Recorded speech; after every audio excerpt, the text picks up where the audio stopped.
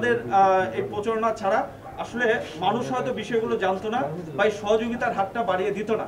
থেকে ফেব্রুয়ারি গত ফেব্রুয়ারি মাস থেকে আমরা মানুষের পাশে আছি, মানুষের সংকটে সবসময় আমরা মানুষের পাশে ছিলাম এবং আমরা একদিনের জন্য আমরা রাজপথ ছাড়িনি। ব্যাংক সেটা যেন মানুষ ব্যবহার করতে পারে, সেটার জন্য আপনাদের সহযোগিতা আমরা চাই। তাদের শ্বাসকষ্ট হবে, আমরা তাদের বাসায় এগুলি সরবরাহ করব তো আজকের এই অক্সিজেন ব্যাংকের আনুষ্ঠানিক উদ্বোধন করব করোনা টেস্টের জন্য সরকার এখানে একটা ফি নির্ধারণ করছে।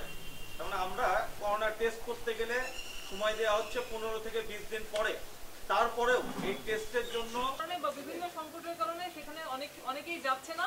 এবং আমরা দেখছি অনেকে যখন গুরুতর অবস্থা হচ্ছে পাশাপাশি আমাদের যে আপনারা দেখতে পাচ্ছেন যে অ্যাম্বুলেন্স সার্ভিস আমরা সেই করোনা রোগী পরিবহনের জন্য আমরা দ্রুত অনেক সময় লাগে তোমার লাগে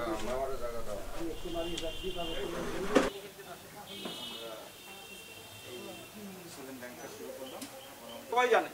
এবং সেটার ধারাবাহিকতায় এ পর্যন্ত আমরা প্রায় বিশ হাজার পরিবারকে খাদ্য সহযোগিতা দিয়ে তো কাজগুলো আমরা করতে পারছি যে এখানকার আপনারা যেভাবে আমাদের সহযোগিতা করেছেন বরিশালবাসী আমাদের যে পুরোপুরি বিনামূল্যে মানুষকে সহযোগিতা করার জন্য। এবং আমাদের একটা দক্ষ ভলেন্টিয়ার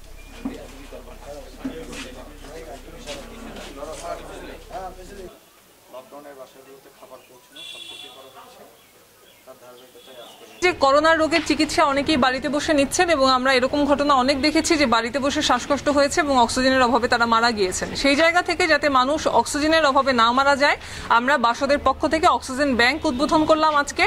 এই অক্সিজেন ব্যাংকের মাধ্যমে আমরা অক্সিজেন মাপার জন্য পালস অক্সিমিটার এবং অক্সিজেন সিলিন্ডার বাড়িতে বাড়িতে সরবরাহ করব। যারাই শ্বাসকষ্টে ভুগছেন, তারা যদি আমাদের সাথে যোগাযোগ করেন, আমরা তাদের বাড়িতে এই পালস অক্সিমিটার, অক্সিজেন সিলিন্ডার পৌঁছে দিয়ে তাদের জীবন বাঁচানোর জন্য আমরা আমাদের সর্বাত্মক চেষ্টা করব।